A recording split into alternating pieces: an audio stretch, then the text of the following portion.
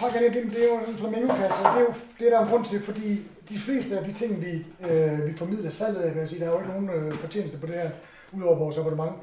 Så alt det, vi sælger ud, er ja. principielt frossen, fordi ja. så har vi ikke noget spild, og så kan Nej. vi holde tingene på de øh, lave priser, som vi har i forvejen. Ja.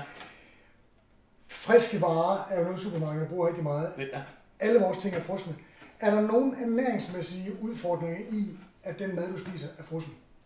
Det behøver der ikke at være. Altså, hvis tingene er i orden, når de bliver frosset ned, så i virkeligheden det vigtigste, det er jo, om varen er i orden, før man fryser den ned. Og så at man selvfølgelig fryser den ned på en måde, hvor det er blidt. Øh, og så ellers, fordi hvis, der er noget, hvis man taber noget, så er det så lidt, at det betyder noget. Altså det, så kan det godt være, at du mister 3% af et eller andet vitamin, men så får du stadig 97%.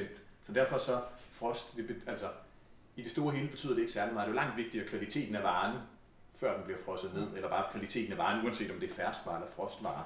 Og så selvfølgelig skal man tænke sig om, hvordan man tør tingene op, fordi ellers så kan der jo i hvert fald godt ske noget med smag og konsistensen. Det rent typisk over lang tid. Typisk tager tingene ud, sådan et stykke laks som det her, tager det ud, lægge det i køleskabet dagen før, så det kan stå til, stille og roligt op. Ja. Så spiller det. Så det sensoriske tab, siger man, øh, modsvarer egentlig meget godt det, ja. det, det ernæringsmæssige, altså omkring 3%. Ja.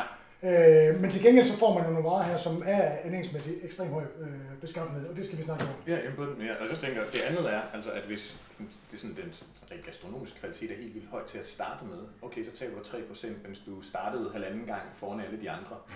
så er det sådan lidt, så er du stadigvæk foran, altså, så derfor, så og så det der med en frosne fødevare, i hvert fald den måde, vi lever i dag, og folk travlt, og hvornår kan man få det til at passe med at købe ind og få mad og sådan noget så er det jo noget fantastisk convenience. Altså hvis du får noget, som der gør, at du har ordentlig, altså rigtig mad, ordentlige råvarer, tilgængeligt som, til hele tiden, og det passer ind i din hverdag, øh, fordi børn, familie, arbejde, øh, træning, øh, uddannelse, altså ikke? Så, så, er der jo, så, så jeg synes jo bare, at ting, der er frosne, hvor kvaliteten er i orden. Øh, convenience. Convenience, ikke convenience på bekostning af noget, men convenience, der gør det muligt for, altså at faktisk for folk at få bedre mad, både smagsmæssigt og sundhedsmæssigt.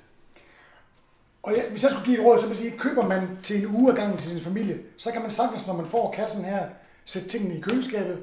Det, man skal spise dagen efter, tager man måske ud på køkkenbordet, eller det tøj op. Men ellers lad tingene stå stille og roligt op. De kan sagtens, sådan som de er emballeret, sådan som de er behandlet, kan de sagtens klares til næste uge. Og en lille sideblanding til de her frosne varer, det er jo det, der kan lade sig gøre for os at sælge varerne til de priser, som vi gør. Det er, at vi ikke har noget svind overhovedet, og det har man, hvis det er frist.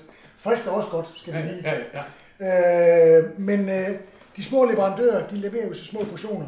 De kan ikke komme hver dag med varer, så derfor kommer de til os en gang om ugen. Typisk leverer tingene af på vores lager, så fryser vi det og plukker varerne, når de skal ud til jer derude.